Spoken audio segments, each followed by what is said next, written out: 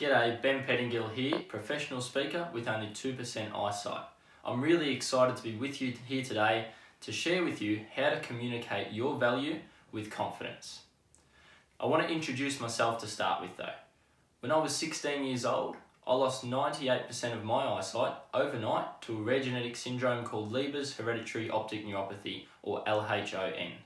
As you can imagine, and as I know a lot of you would be able to relate, this turned my world upside down. At that point in time, I thought it crushed all my childhood hopes and dreams in an instant. And especially when I thought about my future and a potential career, I thought this was going to be next to impossible. Thanks to the support of family, friends, and other resources and networks and organisations, such as Vision Australia, I was able to build up the skills and knowledge to be able to not only finish school, but then go on to launch my own career to introduce that journey for you, after I finished school, I went on to university and I studied a Bachelor of Business. But after a little while, I figured out that wasn't what I was passionate about. What I really wanted to explore when it came to a career was professional speaking. I wanted to share not only my story, but more, most of all, the lessons I'd learned and help build resilience and introduce the power of perception to corporate companies, corporate organisations, and also schools all around Australia. I've now been doing that for four years and I'm excited to share some of the lessons that I've learnt with you today. There's four tools that I want to share with you and I'm going to share the first two with you in this video. The first tool that I want you to take home today is the independence impact.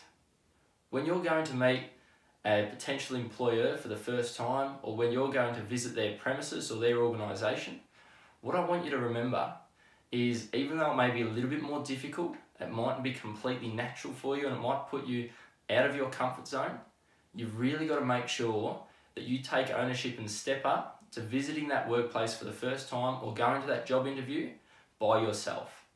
Even if it's challenging, even if you've got to ask for help and use those self advocacy skills that you've got, that is going to be the first big tick in the box of a potential employer.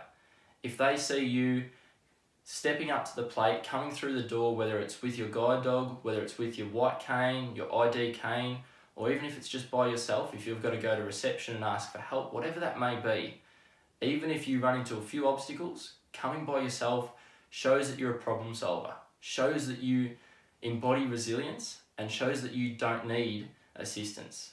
If you walk in with someone helping you to the door, helping you to reception, that automatically automatically communicates to a potential employer that you might be hard work as, a, as an employee.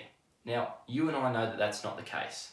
But the first thing we want to communicate to a potential employer is that we are resilient, that we are independent, and that we are up for a challenge instead of needing assistance.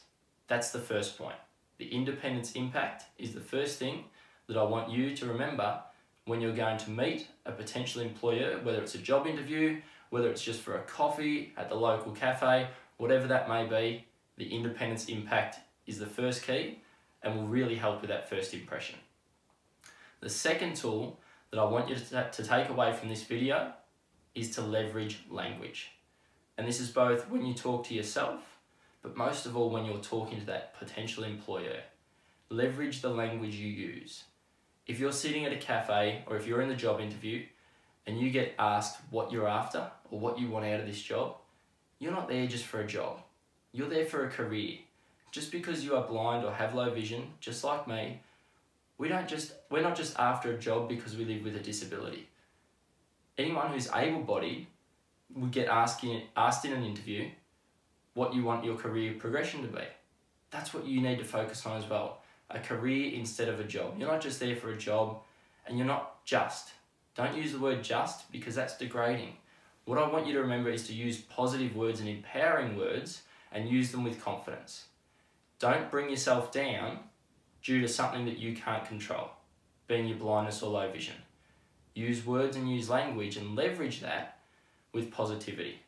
Because if you're telling yourself that you just want a job, or if you go into that interview and say, oh, I've applied for 17 jobs before, but they've all focused on the fact that I've got low vision and it's going to be harder to employ me, that's not going to get you off on the right foot.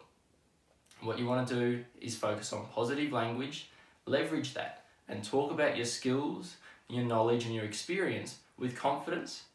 And I don't want you, up until this point in time, you shouldn't have even have to have mentioned your blindness or low vision. That doesn't have to have to even come into account yet. Talk about your skills, knowledge and experience with confidence and leverage that language. In the second video, what I'm going to share with you is the last two points that are going to help you communicate your value with confidence. We'll see you there. Vision Australia. Blindness, low vision, opportunity. Vision Australia logo. Three navy blue ovals linked together diagonally within a bright yellow rectangle.